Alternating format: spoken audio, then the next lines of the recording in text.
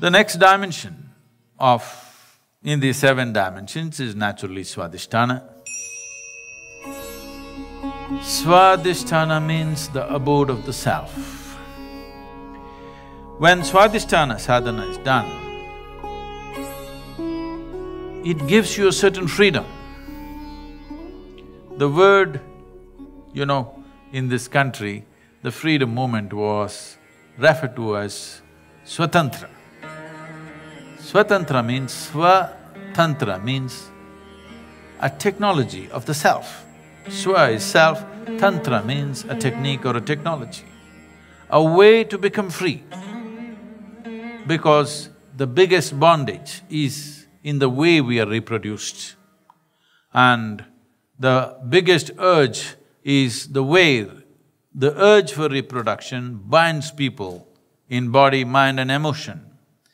So Swatantra means Swadhisthana and Swatantra connected, that you have found a tantra to release the self from these kind of troubles or these kind of compulsions because now yourself is totally free. One of the important aspects of Swadhisthana is, if your Swadhisthana is established in a certain way, your ability to create. At the lowest level, it's purely reproductive. At the highest level, you can create a god if you wish. The technology of god-making came from this because somebody has absolute control over the Swadhisthana and one can establish what is considered a divine entity. Of all the things that we can do in this system, Swadhisthana is among the most complex and beautiful way of doing things, but it is also personally a dangerous way of doing things because if you do too much of it, you may… you may have yourself, but you may lose your body a beautiful self, but no body. This may happen to you if you go too much on it or if you lose control over it. Many who created divine entities generally felt creating one divine entity was good enough and they gave it all and they're left with it.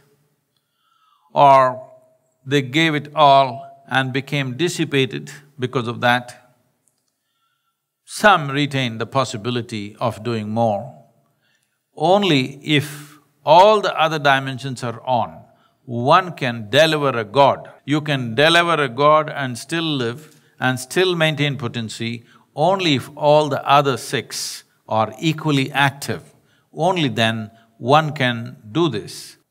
Well, somebody delivered us, that is also important. We are not saying that is not important, that is also important, that's why we are sitting here. That is also an important aspect, but the highest level of delivery would be delivering a divine entity.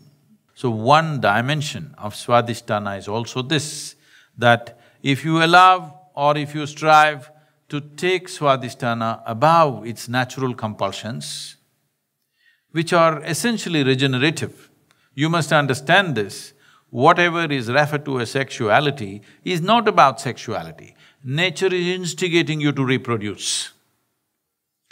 In modern societies, people have made it out as if it has a purpose of its own. Yes, people are using it to bind themselves to each other, but fundamentally the longing in the body is to reproduce. If this was not there, we wouldn't be here today. But if you're wanting to go somewhere else other than being a cycle of life, other than being a natural cycle of life, if you want to go beyond the cycle, then transcending these dimensions become important. When one masters one's Mooladhara, which got referred to as Kaya Kalpa, you become like a rock. You want to make the body last for a millennia or more. When Swadhisthana sadhana is done, the burst of energy happens. One can deliver a god, but you may lose your body. If you bring any sound to Manipura without opening your mouth, the very body reverberates the sound. When one is dominant in their anahata, they start hearing things. A reasonably stable person can go crazy. The moment Vishuddhi is active, you become occult competent. Disembodied beings will naturally move towards you. Agna means there is clarity. The level of freedom it gives you is tremendous. The Sahasrar is total madness. The moment energy stirs Sahasrar, you drip ecstasy.